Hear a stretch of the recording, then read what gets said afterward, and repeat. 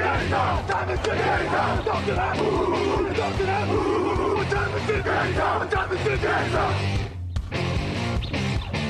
Got gun, Hulk left slot. Dixie left, key left. Mercedes, wide chip, Ricky. Bieber left, 75, Katie, Omaha. we're good.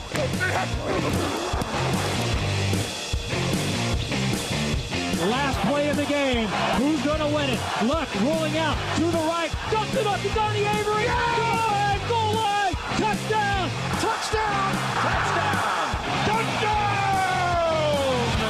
Hello, hello, bonjour et bienvenue à tous pour l'épisode numéro 487 du podcast Jean Actu. Oui, 5, 6, 7, on avance, on avance, trois épisodes en trois jours parce que la preview du Super Bowl connaît un nouvel épisode aujourd'hui avec Victor Roulier. Bonjour. Et bonjour Alain, bonjour Grégory, bonjour à tous. Et bonjour Grégory Richard, donc en effet. Bonjour messieurs, bonjour tout le monde. Qui va gagner le Super Bowl, messieurs? Genre pour de vrai, c'est l'heure de se mouiller. On a dit pourquoi les, Rams allaient le gagner, pourquoi les Bengals allaient le gagner, pourquoi ils allaient le perdre. Maintenant, il faut se mouiller. On vous dit tout dans ce troisième épisode du Super Bowl avec les clés du match, les facteurs X et évidemment les pronos avec le dénouement tant attendu du concours de pronostics TDR. It's time, baby. Make it special tonight. Make tonight special. It's our night, and it's our division. It's our time to go win it. We're gonna start fast and finish strong. Yes, sir. And we go work on three. One, two, three, work.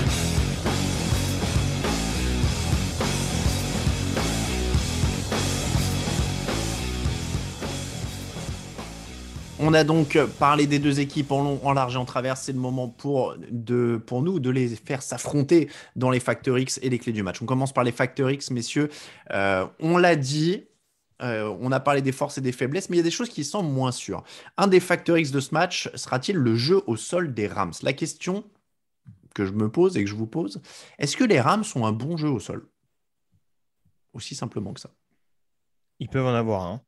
Ils peuvent en avoir un. On a vu des rencontres cette saison où euh, Kamakers avait montré des bons passages, où Sonny Mitchell également n'avait pas déshonoré depuis son arrivée du côté du, j'ai du Missouri, tu vois, mauvais, mauvais, mauvais, rappel du côté de la Californie. Euh, donc, euh, non, après, c'est toujours la même histoire et c'est ce que j'évoquais il, il, y a quelques heures concernant Joe Mixon. Euh, c'est pas forcément d'un point de vue yards, euh, purement production chiffrée, mais en tout cas, d'un point de vue alternance et crédibilité du jeu au sol, euh, le duo en soi, Kamaker, Sonny Mitchell, apparaît pas forcément déconnant. Après, on en a déjà parlé, il y a des aspects qui inquiètent un peu plus, mais de cet état de fait, ils sont capables d'apporter une menace, de, représenter pardon, une menace supplémentaire tout en étant une menace euh, potentielle au succès de leur propre équipe. Ils sont à 94 yards par match en playoff, à peine 99 par match en saison régulière. Ils étaient la 25e attaque au sol de la Ligue. C'est quand même loin d'être impressionnant. Victoire en face. En plus, il y a DJ Reader, BJ Hill, Sam Hubbard, Trey Hendrickson. C'est pas gagné quand même. Non, c'est pas gagné, surtout que la ligne n'est pas, est pas impériale sur la course. Après, moi, il y a quand même quelque chose qui me perturbe dans l'approche de McVeigh sur ces playoffs, c'est que Kamakers revient d'une très grosse blessure au tendon d'Achille. Sonny Mitchell a fait une grosse fin de saison. On pense ce qu'on veut de Sonny Mitchell, mais ces dernières semaines étaient vraiment très bonnes. Et pourtant, quand bien même Hackers fait un fumble toutes les trois courses, on voit McVeigh s'obstiner, s'obstiner à n'utiliser quasiment que Hackers et pas Mitchell. Mm. Et pour moi, s'ils veulent réussir, il faut vraiment qu'ils utilisent le comité dans son ensemble, pas que Kamakers, parce que je pense que après, je veux dire, je veux pas être trop violent avec Kamakers, parce que quand tu reviens d'une aussi grosse blessure, dont tout le monde pensait d'ailleurs que tu étais out pour la saison, tu n'es peut-être pas à 100% non plus. Enfin, Mais après, je veux il, dire, il s'est blessé au tendon d'Achille, pas au tendon de la main, hein, donc ça explique pas les ballons qu'il lâche.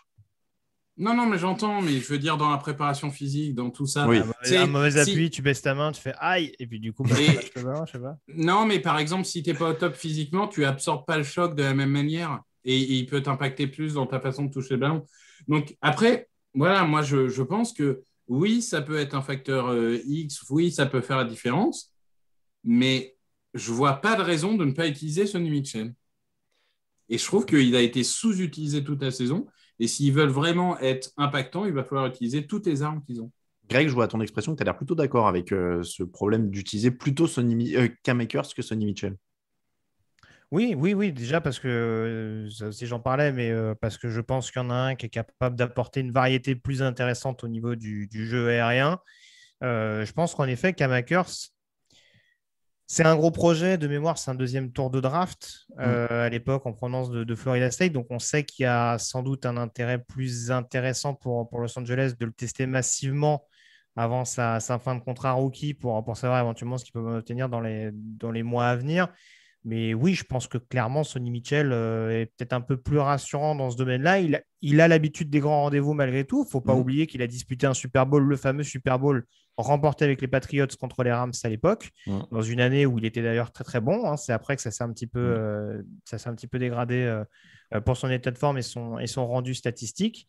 Mais euh, voilà, là encore, d'un point de vue ne serait-ce que expérience et peut-être polyvalence, en tout cas variété dans ce qu'il peut apporter, Sonny Mitchell peut être une bonne solution. Donc, ça va forcément être un facteur à surveiller du côté du jeu au sol des Rams. D'autant que euh, Mitchell, sur les, leur fin de saison, comme vous le disiez, il est très bon. C'est là où c'est assez inexplicable. Il gagne euh, 5 de leurs 6 derniers matchs. Sur les 5 matchs qu'il gagne, Sonny Mitchell est à 121 yards, 79, 92, 131, 74 et il marque 3 touchdowns. Donc, euh, mmh. il était en pleine forme. Et c'est vrai qu'il y a après, Mim, Kamakers revient et on se met à, donner beaucoup moins de, ballons à, Sonny Mitchell, même au niveau des tentatives. Hein. C'est-à-dire que sur ces cinq matchs, c'est 24, 20, 18, 27, 19. Et là, en playoff, c'est 13, 1 et 10. Oui, c'est incompréhensible. Et alors, juste si tu me permets, je ne sais pas si c'est dans les facteurs ou dans les clés, c'est un peu, un peu différent, parce qu'on va peut-être aborder d'autres aspects de l'attaque des Rams. Mais on parle de Sean McVay, il est censé avoir un coordinateur offensif qui, a priori, ne sera pas du côté de Los Angeles pendant très très longtemps, puisqu'il est très très pressenti du côté des, Vikings de Minnesota, euh, Kevin O'Connell.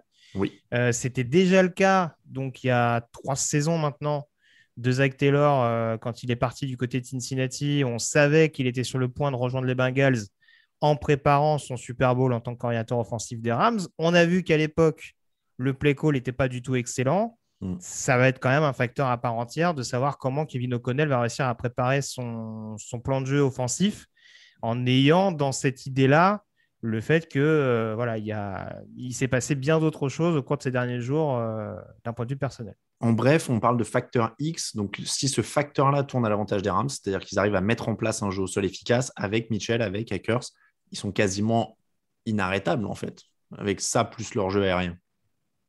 En tout cas, ils ont, ils ont largement les, moyens de l'être. Je te rejoins. Oui. Mm. C'est là aussi où c'est important et ça peut être un facteur à part entière. C'est aussi de savoir si on part sur un match offensif ou défensif. Je ne veux pas anticiper, mm. ce sera peut-être ce que tu évoquais tout à l'heure, je ne sais pas. Euh, mais voilà, les Rams se donneront sans doute plus de chances en partant sur un match offensif. Mm. Peut-être, hein, ce n'est pas une certitude absolue ce que je dis. Mais, euh, en tout cas, ils ont la possibilité, en effet, avec un duo au sol suffisamment productif, de se donner un maximum de chances de réaliser ça et de pouvoir gagner à la longue. Deuxième facteur dans ce match, l'expérience des Rams au Super Bowl, plus match à domicile. Aucune équipe n'avait réussi à jouer le Super Bowl à domicile avant les Buccaneers l'an dernier. Ça fait deux en deux ans, puisque les Rams joueront dans leur stade. Est-ce que c'est un avantage? Ils sont à cinq victoires pour trois défaites en saison régulière. Après tout, on n'a pas l'impression qu'ils soient invincibles. Alors, ils sont à 2-0 en playoff. Mais euh, Victor, est-ce que toi qui as été d'ailleurs dans ce SoFi Stadium cette année? Alors, c'était pour les Chargers. Mais, euh, mais est-ce que. Non, non, c'était pour les Rams. Ah, c'était pour les Rams, pardon. Je ne sais pas pourquoi je pensais que c'était pour les Chargers. Est-ce que c'est un énorme avantage, toi qui y étais? Non, je pense pas, euh, parce que que tu le veuilles ou non, Los Angeles, c'est pas une ville de sport, ou en tout cas, on va dire que la seule franchise qui a une vraie fanbase, c'est euh, les Dodgers, puisque même les Lakers, quand ils commencent à perdre trois matchs, il n'y a plus personne. Euh, je... Ils auront quand même cet avantage de dormir chez eux, d'avoir leurs petites habitudes, de machin, tout ça. Ok, ça, ça c'est vrai. Et, ça joue. Mais euh, le, stade est construit comme une salle de spectacle plus que comme, comme vraiment. Enfin, c'est pas un stade comme Arrowhead ou, ou le Reading Field où tu rentres et tu te dis oh là là vraiment là je ressens la pression et tout. Je suis même pas sûr que leurs appels de jeu par exemple parce que souvent c'est ça le grand avantage d'être à domicile, c'est les appels de jeu de l'adversaire sont un peu perturbés. Je suis pas sûr qu'il y aura beaucoup de monde pour perturber les appels de jeu des Bengals donc euh, pour moi c'est un, un avantage très limité. Je ne sais pas où tu étais situé, toi, en tribune de presse, Greg, mais moi, les seuls gens que j'ai vus euh, qui, perturbaient les appels de jeu sur un Super Bowl, c'était des, jeunes gens assez aisés, mais bourrés, qui gueulaient du coup. Je n'ai pas souvenir là. Mais, euh, oui, voilà, en l'occurrence, je, me demande presque si c'est pas l'équipe, euh, au-delà, bien entendu, des fanbases un peu classiques, mais si tu viens en tant que spectateur un peu euh, neutre, je me demande si ça va pas, en fonction du scénario, ça va pas osciller vers, vers l'équipe qui propose peut-être le plus beau jeu ou ce genre de choses. Donc, mmh. je rejoins ce qu'a dit Victor, c'est pas forcément acquis que les Rams aient cet avantage, non seulement du fait que les appels adverses soient brouillés, mais en plus, tout simplement, qu'ils aient, qu'ils aient une ferveur populaire derrière qui puisse, euh, qui puisse les transcender, c'est sûr. C'est n'est pas forcément garanti. En plus du stade, on met quand même à leur avantage l'expérience parce que euh, les Bengals ont beau avoir peur de rien, il y a un moment où ça peut te rattraper, alors que les autres, eux, connaissent pour la plupart, en tout cas, euh, l'expérience de ça. Ils ont Von Miller qui est MVP du Super Bowl dans leur effectif. tout ça, ça joue quand même à l'avantage des, Rams. Oui, clairement. Bah, encore une fois, je ne vais pas faire de la redite avec ce qu'on a déjà dit par rapport à ça. Mais euh, voilà, il y a, des joueurs, en effet, euh, qui, ont cette, euh, qui ont cette volonté dans un âge assez avancé de leur carrière de pouvoir vraiment, de pouvoir enfin réussir à aller chercher ce, ce titre. Je sais par exemple que Victor, dans une précédente émission, pour faire écho à Aaron Donald, même si ce n'est pas Donald que je, que je vise là-dedans, parlait de Reggie White, par exemple, qui a couru pendant très très longtemps avec les Eagles et qui l'a eu très très tard, justement en ayant rejoint les, les Packers dans la foulée voilà, quand on est dans cet état d'esprit-là et qu'on se dit, ça y est, c'est peut-être ma fenêtre, ça, peut faire la différence. Je pense que c'est en tout cas un élément qui transcende un petit peu plus. Euh, alors, ça ne veut pas dire que les Bengals n'auront pas des, raisons d'y croire plus que ça dans une AFC extrêmement compétitive où, euh, où ils ont réussi à s'extirper euh, de manière surprenante. Mais, mais oui, forcément, l'expérience, c'est quelque chose qui sera, qui sera à surveiller et qui peut être un facteur prépondérant. Alex, alerte Factor X, équipe spéciale, messieurs. Factor X, les kickers.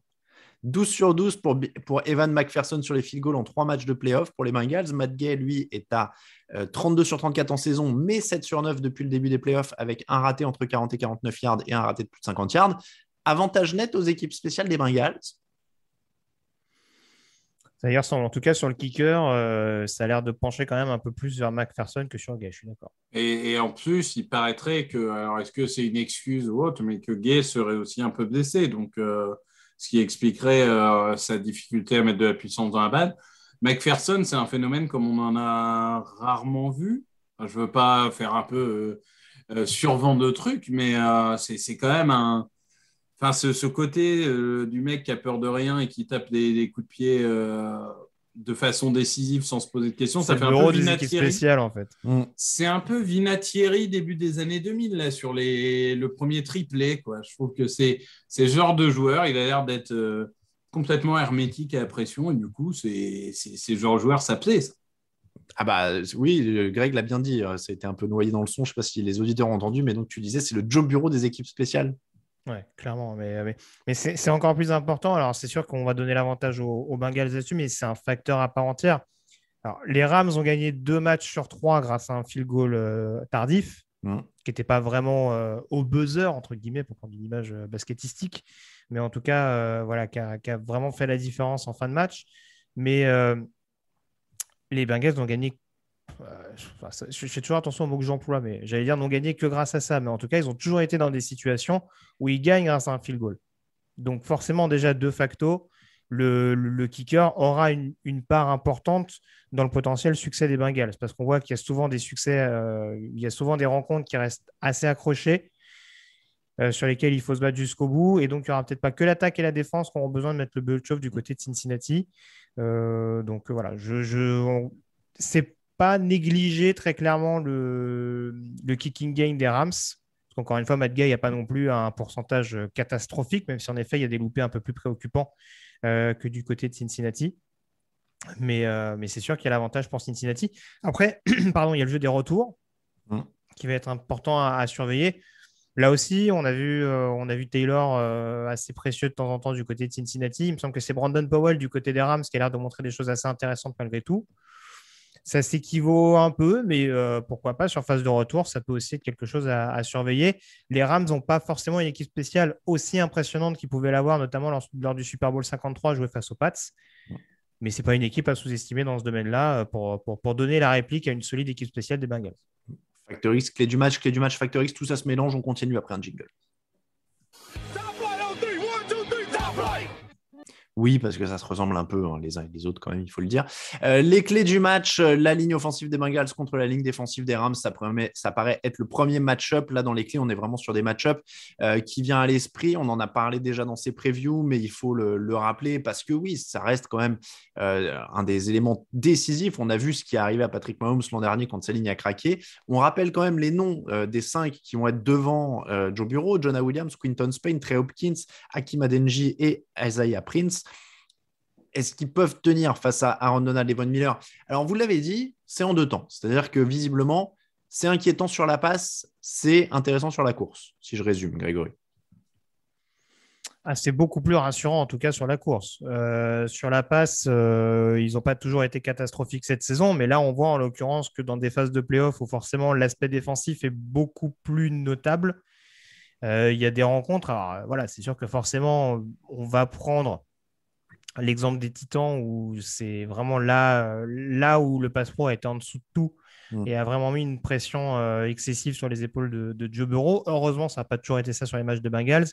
Mais voilà, on ne va pas le répéter, il y a eu un nombre de sacs assez conséquent et il- les principales stars euh, défensives du côté des Rams vont être sur le, sur le pass rush. On parle beaucoup de Von Miller, on parle beaucoup d'Aaron Donald à raison, mais c'est vrai qu'il y a un profil, par exemple, comme, Leonard Floyd, très polyvalent, qui peut, apporter beaucoup, que ce soit sur le jeu au sol d'ailleurs, ou, sur la pression, justement, euh, quand on sait que Miller et, Donald vont sans doute libérer des brèches.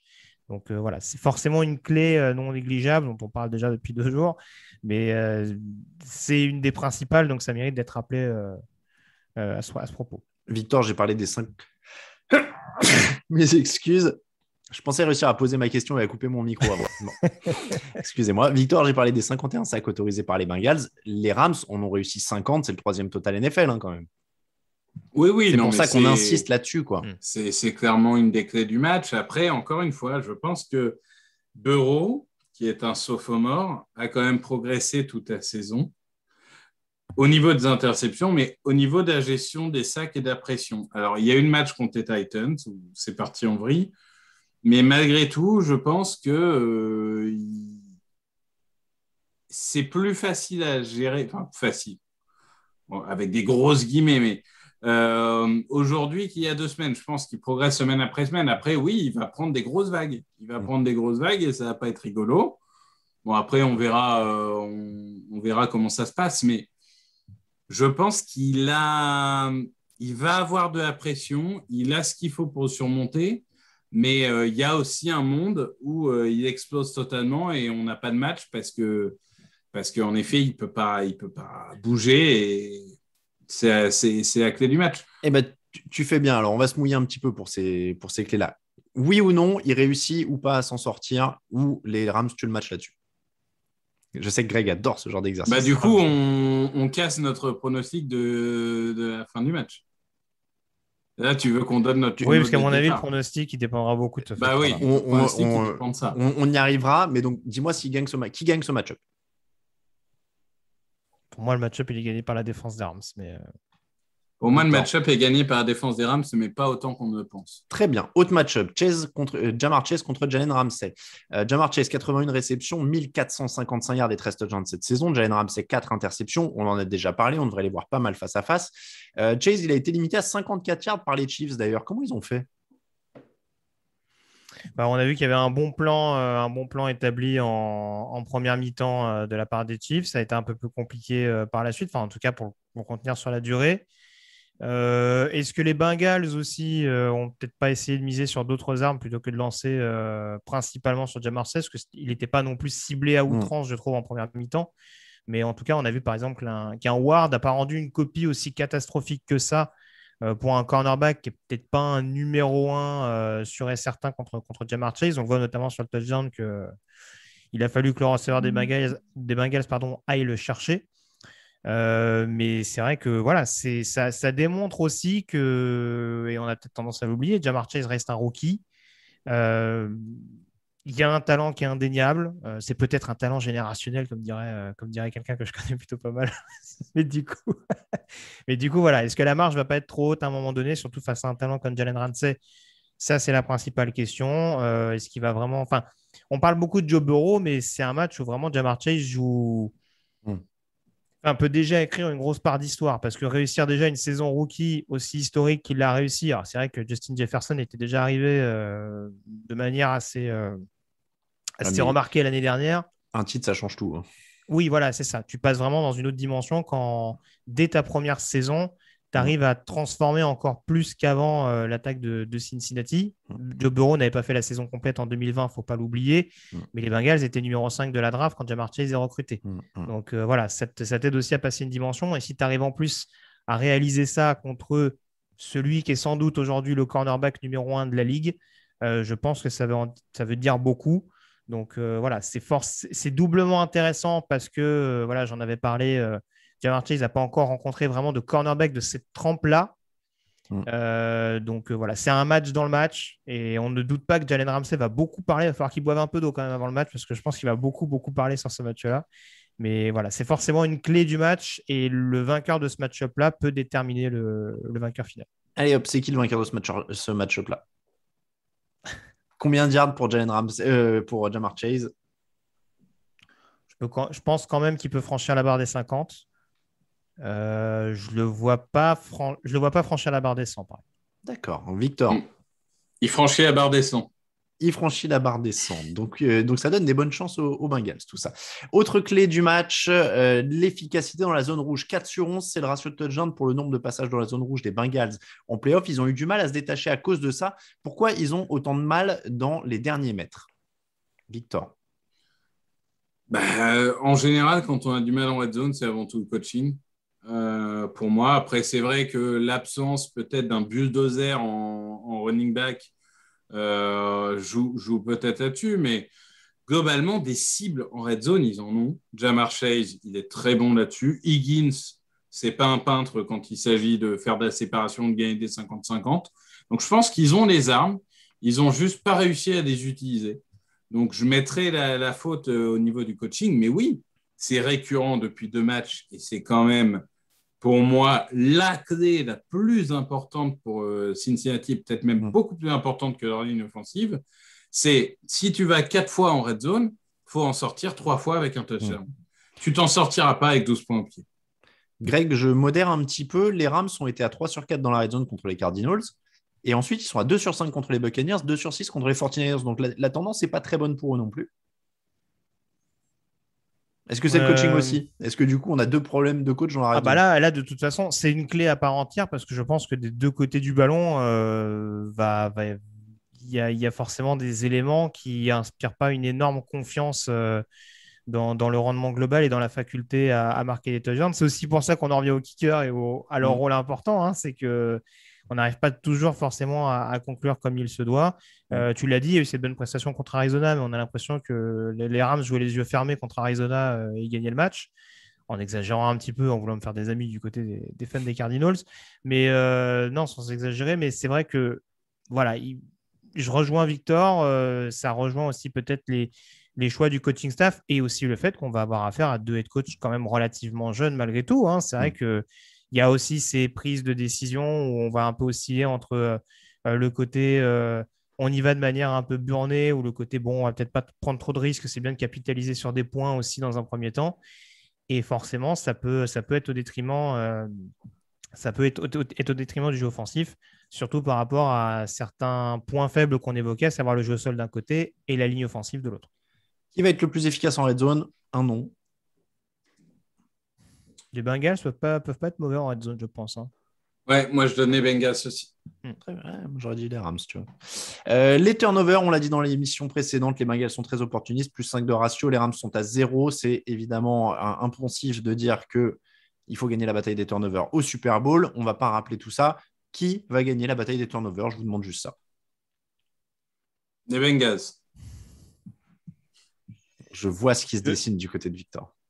Oui, moi aussi. Ouais. C'est franchement euh, un éléphant dans un magasin de porcelaine. Euh, bah, les stats m'amènent forcément à dire Bengals. Après, on voit que Joe Burrow, par exemple, c'est une interception sur ses deux derniers matchs. Mm. Euh, donc, et par rapport à la pression que j'évoquais tout à l'heure, je vois pas une équipe gagner la bataille des turnovers. Je pense qu'il y aura la, la même de chaque côté. Paf, réponse de Normand. Très bien, allons au pronostic. Actu, analyse, résultat, toute l'actu de la NFL, c'est sur touchdownactu.com.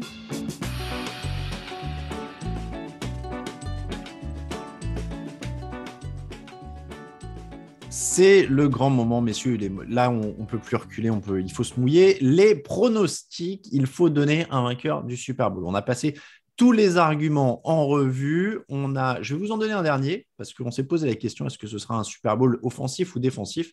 On a deux équipes qui ont toutes les deux maintenu leurs adversaires à moins de 20 points de moyenne lors de leur match de playoff, lors de leurs trois matchs de playoff. Donc, on s'oriente peut-être plutôt vers un match, en tout cas pas flambé. Je vois pas du 35-32 ou quelque chose comme ça plutôt autour de la 20-25 pour gagner, quoi.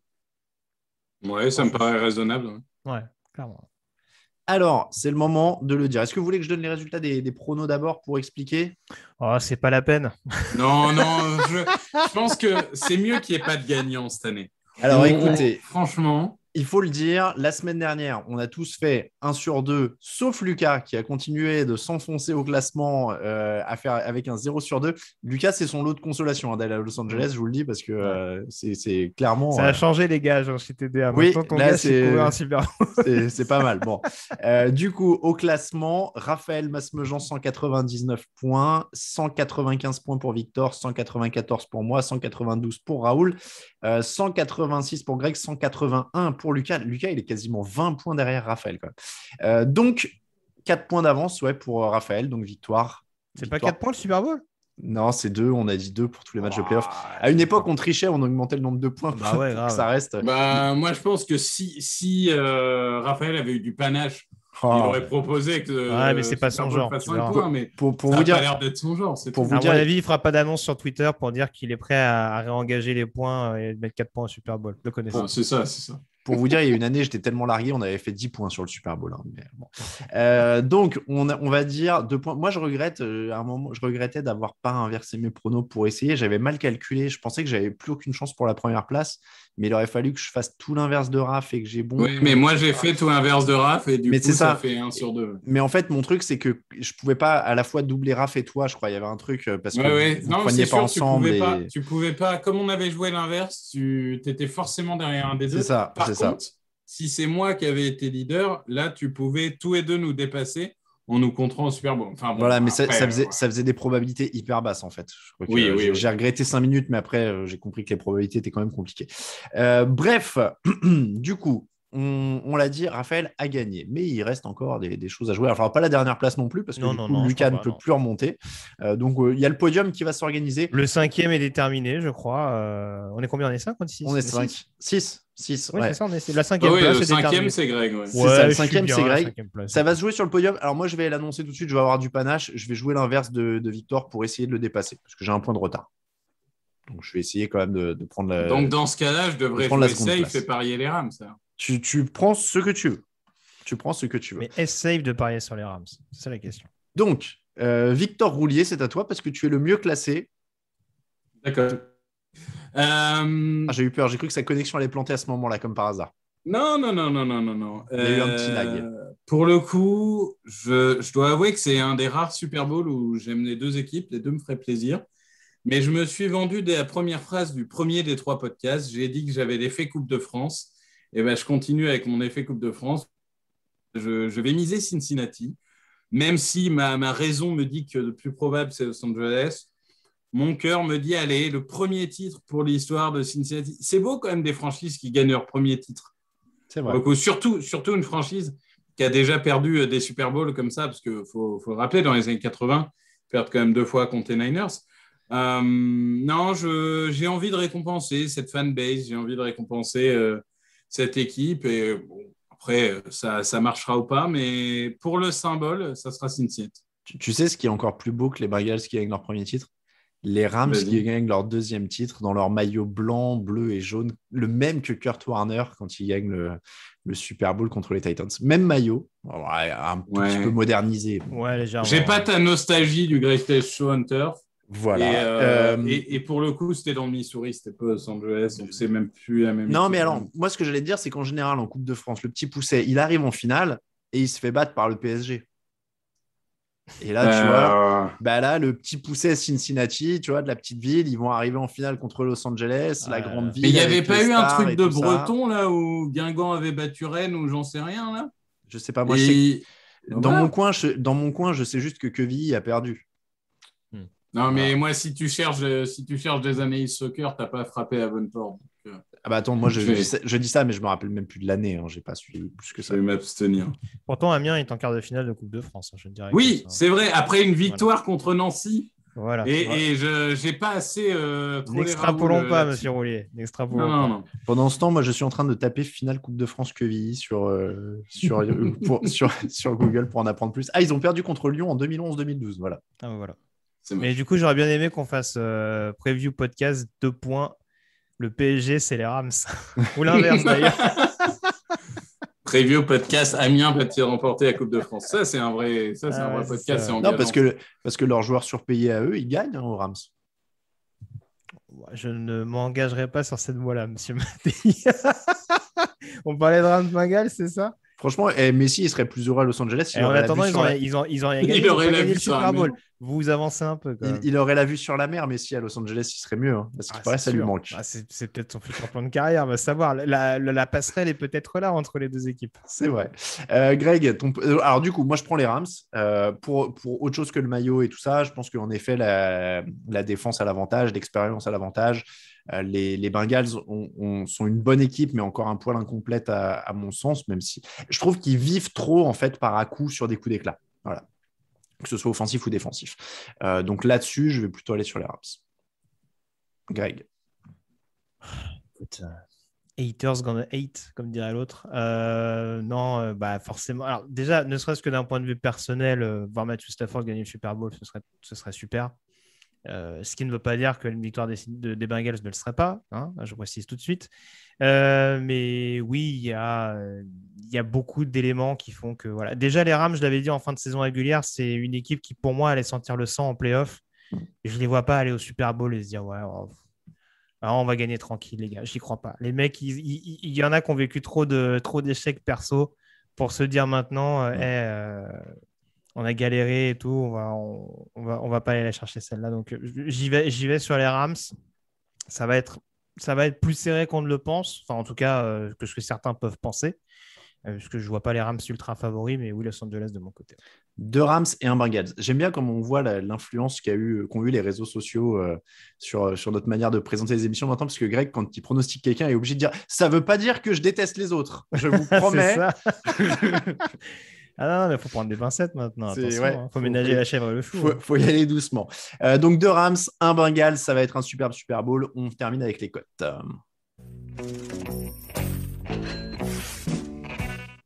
Pour la dernière fois de la saison, les cotes de notre partenaire Unibet. Messieurs, c'est assez simple. Il n'y a qu'un seul match. 2,70 sur les Bengals, 1,50 sur les Rams. Victor, tu ferais une bonne affaire si ça se. Ah bah moi, moi, il n'y a pas de problème. Euh, Les, les Bengals mènent à mi-temps, les Bengals euh, gagnent le match. Voilà. Vous Ah, les Bengals- ça, ça doit faire 4 ou 5. Ok. Il mène à la mi-temps pour toi? Mène à la mi-temps. Ah mais moi, je vous, je vous dis, vous n'êtes pas prêts. Alors attends. Je Vous vous souvenez de, de Broncos C'est le vrai. mec, le mec qui s'enflamme, tu sais. Il imagine Alors- déjà un 40-0. Bengals mi-temps, Bengals fin de match, c'est 3,75. Très belle Voilà, cote. très bien. Très belle cote. Le 3,75. Non, mais euh, pour le coup, hein, j'en rigole, mais il faut, faut quand même se rendre compte que euh, l'attaque des Broncos qui devait tout casser a marqué 6 points, euh, l'attaque des Rams qui devait tout casser il y a 3 ans a marqué 3 points. On a déjà vu au Super Bowl des, Alors- des attaques s'autodétruire. hein. Tu sais quoi? Je vais te faire le scénario encore, euh, encore plus dingue. Sur ce qu'on a vu en playoff, hein. les Rams commencent fort, ils mènent à la mi-temps. Sean McVay commence à se tendre un petit peu. Joe Bureau se relâche. Les Bengals gagnent à la fin. Donc, si tu fais un Rams mi-temps, Bengals fin de match vainqueur, c'est une cote à 9,55. Tu m'as dit combien pour euh, Bengals mi-temps plus fin de match? Mi-temps fin de match, c'est 3,75. Euh, La différence me paraît énorme. Ah bah, si les Rams mènent à la mi-temps, on peut estimer qu'ils vont au bout. Donc, euh, la cote est beaucoup plus grosse, ouais. Bengals mi-temps, fin de match, c'est 3,75. Et Rams mi-temps, Bengals fin de match, c'est 9,55. C'est, un scénario un peu fou, mais on l'a vu avec les Chiefs. Pour, euh, les, Bengals l'ont fait aux Chiefs. Donc, euh, donc ça peut être pas mal. Euh, le total de points. Hop là, non, attendez, je me suis gouré de. Ça, c'était en première mi-temps. Donc, en, en direct, après le direct Rams à 1,50 est pas mal. Le direct, euh, si vous vous êtes un peu foufou et que vous voulez jouer la prolongation, la cote est à 16. Je le, je, je le notifie. Euh, marqueur de touchdown, est-ce que vous avez un marqueur de touchdown qui vous vient? Parce que maintenant, on peut jouer sur les doublés aussi, hein, sur, euh, sur, les, sur les marqueurs de touchdown chez Unibet. Euh, Joe Mixon pour moi. Joe Mixon, euh, alors tu peux jouer par exemple qu'il en marque deux ou plus. Non, non, 1, 1, 1, ce sera jamais. calmons-nous, calmons-nous. Une cote à 36. Alors, si, Il si- marque 18 touchdowns avec exactement 31 portées alors, pour écoute, 217 yards et demi. alors écoute, s'il en marque deux ou plus, c'est 7,50, je vous les donne. Par contre, Joe Mixon marque et son équipe gagne, parce que vous pouvez aussi faire des combos comme ça. Joe Mixon marque et son équipe gagne, la cote est à 5,10. Voilà, je vous donne. Moi, Euh, moi- j'ai un truc un peu tiré par les cheveux. Vas-y. mais, euh, je sens bien une position goal line pour les Bengals où Joe Burrow va marquer lui-même au sol. Joe Bureau. Ah ouais, pas mal ça. Pas Et mal. du, coup, et du coup, si tu veux faire un doublé, enfin un doublé de marqueur de touchdown, Ouais. je dirais Joe Burrow, Cooper Cup. Joe Bureau, Cooper Cup. C'est pas mal. Pour faire un mal. côté un peu euh, moins surprenant. Parce que la Cooper Cup, je pense, sera un des moins bien cotés Hmm. de par la possibilité qu'il aurait de marquer un touchdown euh, dans son match-up. Hmm. Mais euh, ouais. Pourquoi pas. Joe Burrow au sol, euh, éventuellement, vu, vu qu'il a montré une certaine faculté à, à être mobile et à se dégager de la pression, why not? Bon, en tout cas, sachez qu'il y a beaucoup, beaucoup, beaucoup de paris à faire chez Unibet sur ce match. Euh, vous pouvez parier sur la première équipe à marquer 10 points, la première équipe à marquer 40 points si vous pensez qu'il y a une équipe qui va y arriver. Euh, le résultat donc à la mi-temps. Enfin, il y a vraiment plein, plein de choses. Les points à la mi-temps. La euh, a- durée du show de mi-temps, non, il n'y a pas? Non, ça, y- ça, il y a Non, pas. ça, c'est aux. États-Unis. Ouais, ça, en France, ça se c'est- fait pas. Ça manque, ça manque, il faut le dire. Mm, mm, mm. C'est vrai. Euh, donc voilà, mais euh, le carton où il y aura le plus de points, par exemple, si vous pensez qu'il y aura plus de points dans le premier quart, la cote est à 6,90. Voilà, je vous la donne. En tout cas, Il y a plus beaucoup- dans le deuxième. Je, Et dans le- je- je sens le deuxième. et ben dans le deuxième, la cote est à 2,62. Voilà, tu le, par hasard. Tu le sauras. Ouais, je sais pas, moi, troisième, j'aime bien. La le troisième est à 5,85. Ah, le troisième, c'est toujours un. Le, le- le troisième, c'est le carton du pauvre. Faut le je suis d'accord. Moi, je suis d'accord. Je, je mise jamais sur le troisième. Ouais. Jamais Ok. d'avis. Moi, je Très bien. Moi, je milite pour qu'on passe directement du deuxième. Bon, merci beaucoup, messieurs. En tout cas, c'était les cotes. Il y en a plein. On vous invite à aller euh, donc chez notre partenaire Unibet. Il y a plein de liens sur le site. Évidemment, jouez de manière raisonnable et fixez-vous des limites. Euh, merci euh, à Unibet de nous avoir soutenus d'ailleurs pendant toute la saison, puisque c'était les dernières cotes. Merci beaucoup à vous deux, Greg. Merci beaucoup, Victor, pour ces trois émissions preview. Nouveau dispositif exceptionnel. On vous rappelle des émissions en live encore à venir sur notre chaîne Twitch, twitch.tv slash tdactu. Le grand quiz, si vous nous écoutez mercredi, le quiz sera le mercredi soir. Et puis, il y aura Lucas en direct de Los Angeles, toujours sur la chaîne Twitch. On verra, on vous mettra peut-être le replay en podcast, mais en tout cas, il sera sur Twitch et YouTube. Ça, c'est sûr. C'est comme ça que se termine l'épisode 487. Merci encore à vous deux. Merci à ceux qui nous écoutent. Merci à ceux qui nous soutiennent sur Tipeee. Les réseaux sociaux, c'est @tdactu pour Twitter et Facebook et @touchdownactu en entier pour Instagram. Atielo Radiosa pour Greg sur Twitter, Victor Roulier euh, pour Victor et toute l'actu de la NFL sur tdactu.com. Merci beaucoup à tous. On se retrouve lundi en podcast pour le euh, débrief du Super Bowl. Ce sera avec l'équipe au grand complet. Merci beaucoup, messieurs. Bon Super Bowl à tous. Ciao, ciao. Merci, au revoir.